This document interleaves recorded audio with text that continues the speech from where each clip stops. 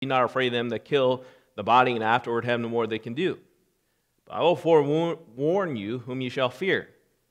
Fear him which after he killed hath power to cast into hell. Yea, I say unto you, fear him. Are not five sparrows sold for two farthings, and not one of them is forgotten before God? But even the very hairs of your head are all numbered. Fear not, therefore, ye are of more value than many sparrows. In the sight of God, his creation, you are quite valuable. And it's important for us to learn a very important truth, and that is to trust in God. When we, the Bible says the fear not, the fear not man, what it's saying is don't allow them to determine how you live your life. Don't base your life based upon your fears. I'll tell you whom to fear or whom to trust. Trust in God. Allow Him to be first in your life. If you read later on, the Bible goes on in Luke chapter 12 and verses 22 and following, it gives another parable. But at the end of that parable, it says the following it says, Sell that ye have and give alms, provide for yourselves bags which wax not old, a treasure in the heavens that faileth not, where no thief approacheth, neither moth corrupteth. For where your treasure is, there will your heart be also.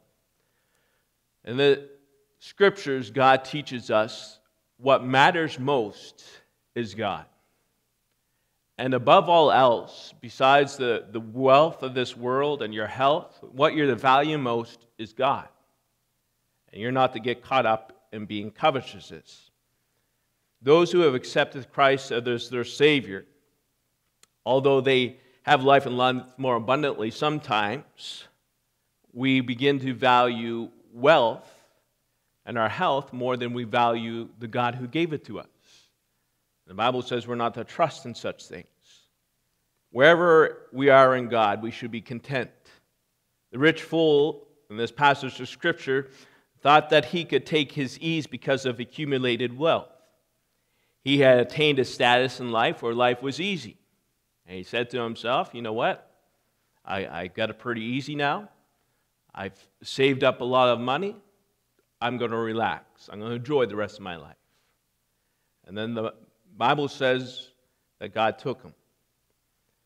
As we look at this passage of Scripture, this passage of Scripture shows us a person who is rich, but he was not rich towards God. In order to be truly rich, one must be rich towards God. In order to be truly rich, one must be rich towards God. In order for this to happen, one first must recognize their standing before God, then recognize that God is the giver of all things good, and then use what God has given them for the service of God. Let us first look at this evening recognize your standing before God. In this passage of Scripture, we read about the rich young, or excuse me, we read about the, the person who's rich, but he's not rich towards God. Without Christ, you can never be rich towards God. I want you to understand if you're watching this evening and you don't know the Lord Jesus Christ as your personal Lord and Savior, you'll never be rich. You'll never be rich. This world and what it offers you, the wealth, the things you see around you, your car, your house, you're not going to take it with you when you die. Bible says we brought nothing into this world, and uh, we can be sure that we'll bring nothing out of it. And above all else in this life, what matters most is whether or not you're rich towards God. And that is only possible if you know God. One should never think gain is godliness or that it profits you. Don't ever think, don't let this religious value or the, this false religion where people think if I'm being blessed financially and I'm wealthy, then I'm spiritually healthy. That does not determine your standing before God. It's whether or not you've, at some point in your life, seen yourself as a sinner. You saw that the the truth that the Lord Jesus Christ died on the cross for your sins. He was buried and rose again so that you could have, have everlasting life. And you've placed your trust in Him for the forgiveness of sins. That is where true riches begins. It begins by placing your trust in the Savior. Repentance towards God and the gift of salvation is far more important than the wealth of this world. We look around the things around us, the Bible says eventually all of it will disappear. All of it will come to naught. The Bible says the following in Luke chapter 9, verse 23. Turn there if you would. Luke chapter 9 and verse 23. It says, And he said unto them all, If any man will come after me, let him deny himself, and take up his cross daily, and follow me. For whosoever shall, will save his life shall lose it. But whosoever will lose his life for my sake, the same shall save it. For what is a man advantaged if he gain the whole world and lose himself, or be cast away? For whosoever shall be ashamed of me and my words, of him shall the Son of Man be ashamed when he shall come in his own glory, and in his Father's, and of the holy angels.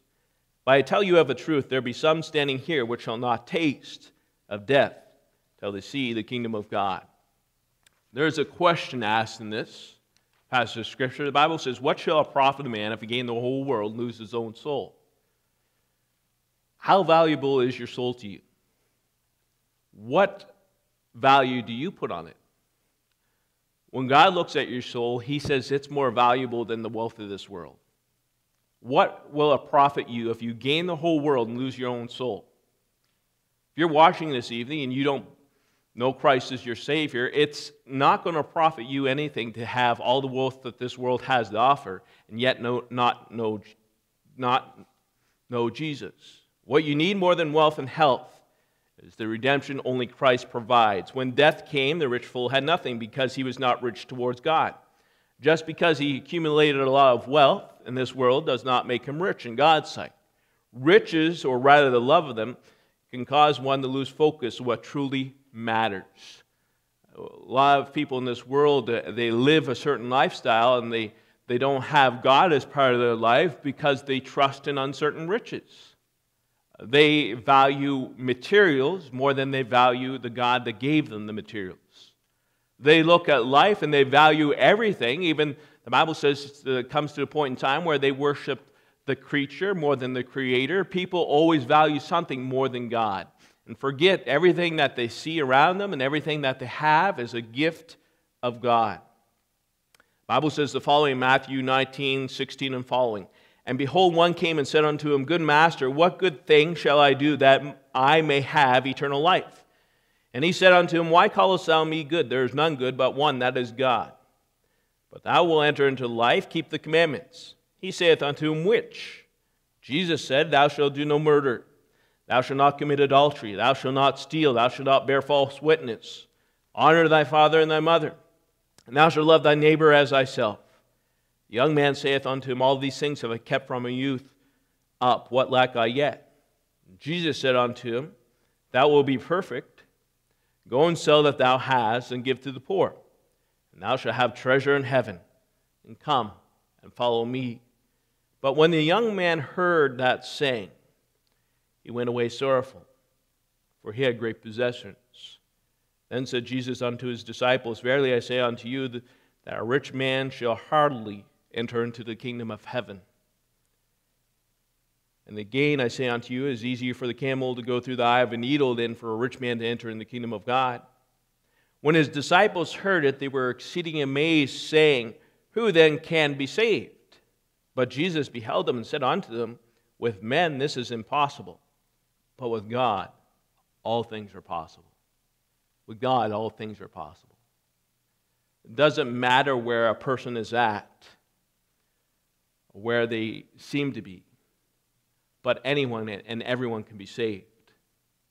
Even the rich men who trust in the riches, if they learn to turn away from that and turn to God, they learn to turn away from the things of this world and trust in God, they can be saved.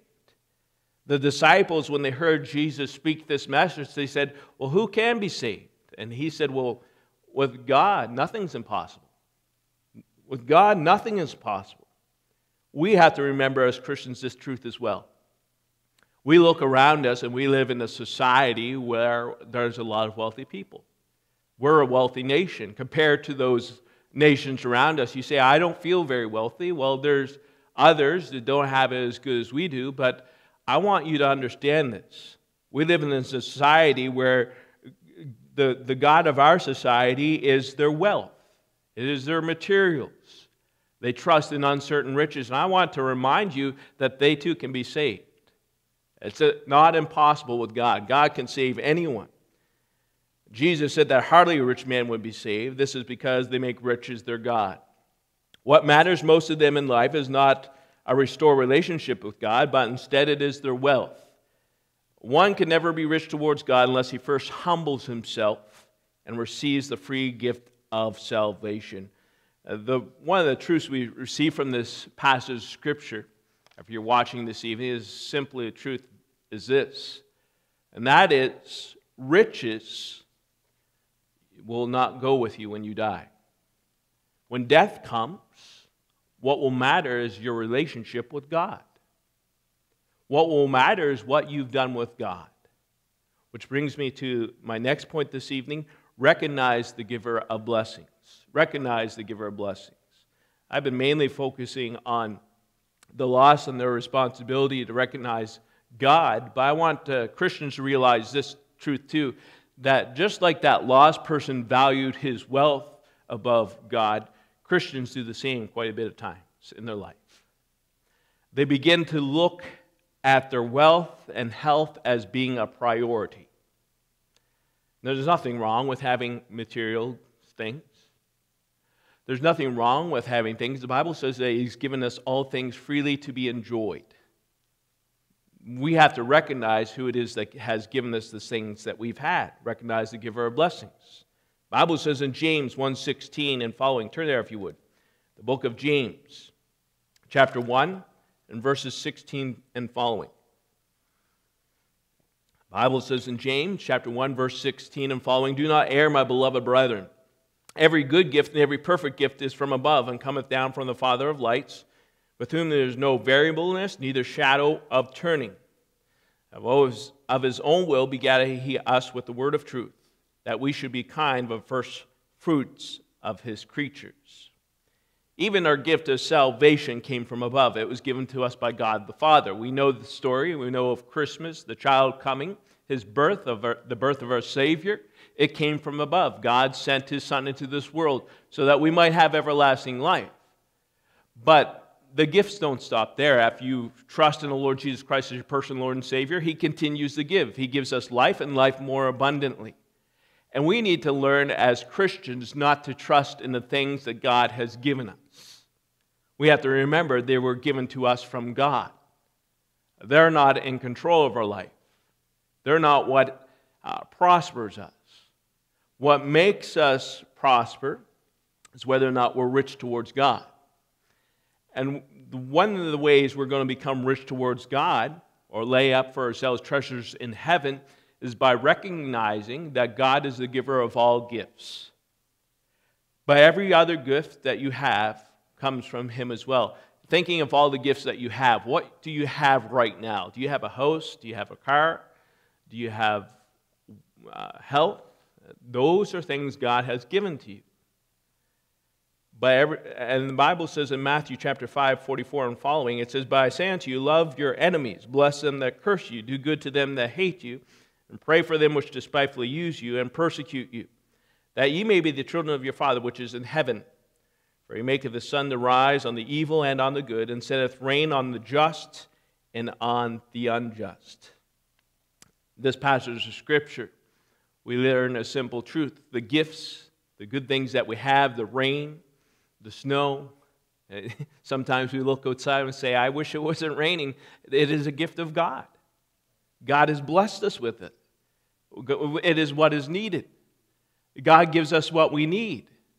God provides for us. And we must never forget that God is our provider. Riches, wealth, they don't provide for you, they don't take care of you. God gives it so that you have your needs taken care of.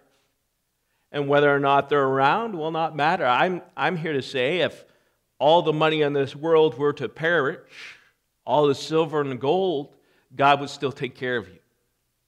I'm here to let you know that no matter what is happening in society, whether it be inflation, whether it be uh, the, the end of the world as we know it, we need to know this as Christians God will still take care of you.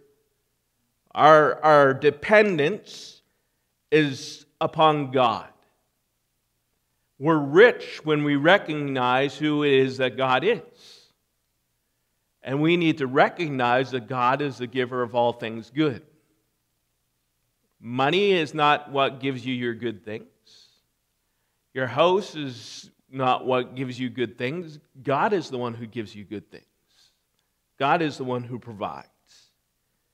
Money can be both good and bad depending on how it is acquired and how it is used.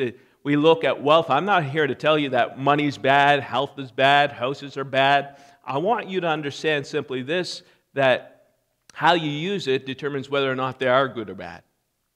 Is whether or not you take of what God has given to you and say, either say, Thank you, God, for giving me these things, or are you of that person, that heart attitude, you always want more? You begin to covet. You're never satisfied.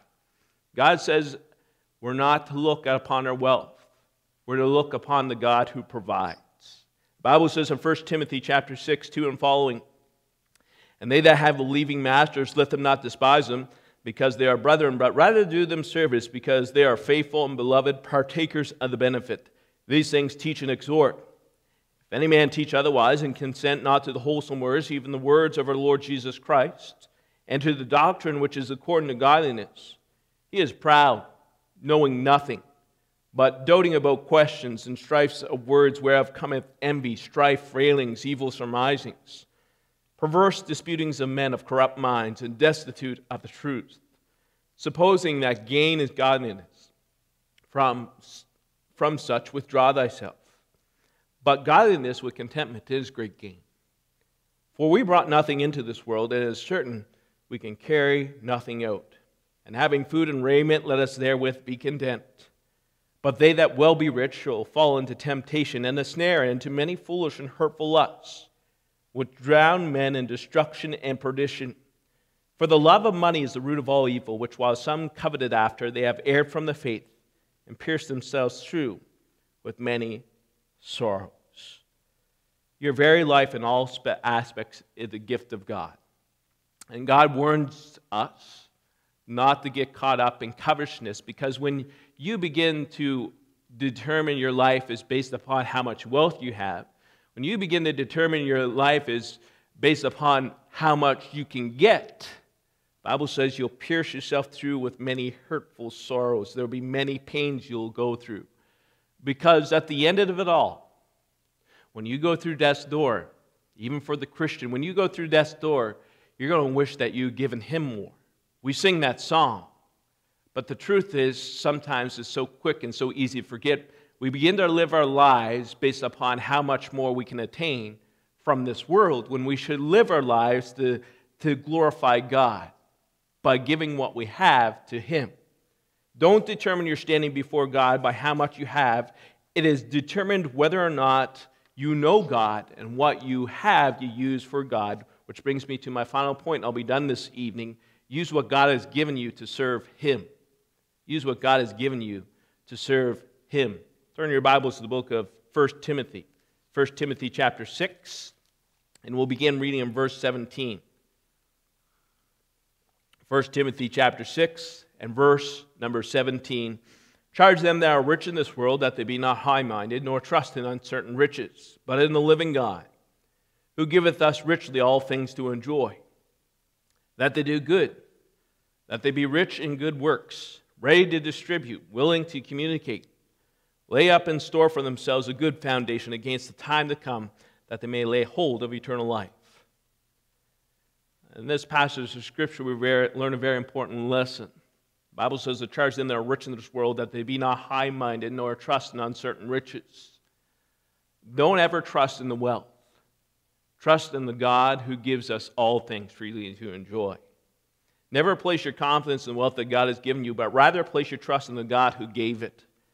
In this passage of Scripture, God tells those who He has given riches to to be rich in good works, ready to distribute, willing to communicate. If God has blessed you with a, a lot of money, if God has given you wealth, the, the Bible says what you ought to be doing with that wealth is be willing to communicate. What's that mean? Willing to help those who are in need. Use it as God tells you to use it. Take what God has given you and give it to Him, and He'll tell you what to do with it. Ready to distribute to the necessity of the saints. Willing to give to those that are abroad preaching the gospel, giving the missions, giving to that brother and sister who is in need, that is lacking. That's what God wants us to do. He doesn't want us to look at riches and say, Give me, give me more. He wants us to look at riches and say, I want to use this for you, Lord. And He says, the way we use it for Him is by giving to others. God has blessed you to be a blessing to others, more specifically, other believers. The Bible says in Galatians chapter 6, 8, and following, For he that soweth to his flesh shall the flesh reap corruption, but he that soweth to the Spirit shall the Spirit reap life everlasting. Let us not be weary in well doing, for in due season we shall reap if we faint not. As we have therefore opportunity, let us do good unto all men, especially unto them who are of the household of faith. The Bible says in the early church, they had all things common. They understood the needs of others were important than their own needs. Uh, excuse me, more important than their own niceties, I should say. God always supplies for our needs. And when we have more than what we need, we should use that to give to the needs of others. That's what God teaches us in His Word. The Bible says in the book of Acts, chapter 4, 32 and following, And the multitude of them believed were of one heart and of one soul. Neither said any of them that aught of the things which he possessed was his own, but they had all things common. And with great power gave the apostles witness of the resurrection of the Lord Jesus, and great grace was upon them all. Neither was there any among them that lacked, for as many as were possessors of lands or of houses sold them, or brought the prices of the things that were sold, laid them down at the apostles' feet, and the distribution was made unto every man according as he had need. Others' necessities are more important than your niceties. Someone who is rich and sees his brother has a need, if God has blessed you, and you see that your brother has a need, if you want to be rich towards God, you want to be like God in this world. That's what it means to be rich towards God. It's just taking what God has given you and use it as He sees fit. Then we need to live like God would. And how would He do that? Well, the Bible says in the James chapter 2, 14 and following. What does it profit, my brethren? Though a man say he hath faith and not works, can faith save him? If a brother or sister be naked or des- and destitute of daily food, one of you say unto them, Depart in peace, be warmed and filled. Notwithstanding, you give them not those things which are needful to the body. What doth it profit? Genuine faith looks at the need of others and tries to fulfill that need. Genuine service towards God looks at things and materials around us as instruments to serve God. They don't, genuine faith in God and trust in God, being rich towards God, is simply understanding that God is the giver of all things. God supplied my need. And if I have more than what I need, God gave that to me so that I can be a blessing to others and supply their need. If we want to be rich towards God, we need to not to learn to trust in uncertain riches. We need to learn to trust in the God who gives us all things. I'll give an example of this, and we've all, well, I shouldn't say we've all experienced, but I have experienced when I was younger, when I was at Bible college. I can remember a time when, obviously, when you're poor, you're going to Bible college. So that's what we always say. You go into Bible college, you don't have much money, you're working, you're barely getting by. And I remember the time when um, my grandmother had passed away, and so I had to go home, which I had to pay a plane ticket. It was about $300. I didn't have the $300, so I spent it anyway. And I remember afterwards coming back, someone walking up to me and says, You know what? The Lord laid upon my heart to give this to you. And someone gives me an envelope, and in, in it, it's the same price as the plane ticket $300. And what I'm trying to say is those simple little things that God lays upon your heart to be a blessing to others, don't ever take it for granted. When God has blessed you with that extra $20 and you say to yourself, What am I going to do with this $20? You can lay up for yourself treasures in heaven. How do I do that? You look at it and see it as just a, an instrument. It's just a piece of money. It's not worth anything. You use it to be a blessing to someone else, someone you know has a need. You walk up to them, shake their hand, and leave them with the $20. I remember experiencing that lots of times when I lacked in certain needs in my life. And my wife can give a testimony as well. I'm sure she doesn't mind me telling. Um, when she went to Bible college, she probably wasn't as well off as uh, even I was, but there was a time where she didn't even have enough money to buy some toothpaste. She didn't have toothpaste. And then all of a sudden, there was just something that occurred somewhere along the line where the, the preacher said, First one to raise their hand will get a reward. She raised her hand, she got $5. She used it to buy the toothpaste. What I'm saying is this God knows the needs of others. And God wants you to look at the needs of others, and He wants you to treat the finances and the things that you have in the right way. He wants you to look at them as just being things to be used for the glory of God. Don't be like that rich man, and don't be like that person who says, Lord, can you speak to my brother? He isn't giving me my money. Look at the things in this world as God intends you to look at them. And then you'll be rich towards God. One must realize life is not about making a lot of money and doing a lot of things that we enjoy, but our life is about knowing God and serving Him by serving our brothers and sisters in Christ. This is true joy because it is Christ centered It's more blessed to give than to receive. Why is it more blessed to give than to receive? Because when you give, God puts that treasure up in heaven. You give a cup of cold water in His name, God gives to you a reward. When you're doing things for God, He sees and He takes notice of it. The Bible says, Mark 9 38 and following, John answered and said, saying, Master, we saw one casting out devils in thy name, and he followeth not us, and we forbade him, because he followeth not us.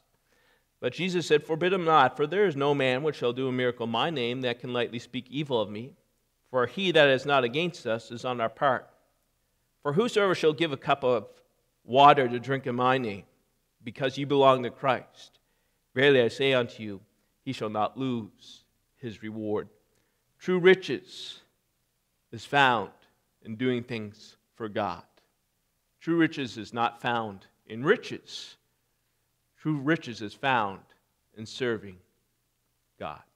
Let's pray. Heavenly Father, again, Lord, we thank you for your love. Thank you for your mercy. And I pray that you help each and every one of us, the Lord, to learn this lesson to be aware of covetousness, not to look on things as if they matter, but learn to look to you. God, you're the one who truly matters in our life. And what you have given us in your word and how we are to live our lives is what we need to learn to do. Where our treasure is, there will our heart be also. Lord, our hearts need to be where your heart is, and I pray you'd help each and every one of us to understand that truth. Work in each and every one of our lives. We need the help that only you can give. We need the grace of God. Again, Lord, I pray, again, if there is someone who's watching, they don't know Jesus, they, they've been always focusing on the things of this world, but they've never considered where they'll spend eternity. I pray that tonight their eyes be opened and they'll trust in you for the forgiveness of sins. Again, Lord, I just pray in everything you be glorified. We ask it in Jesus' name. Amen. Pastor.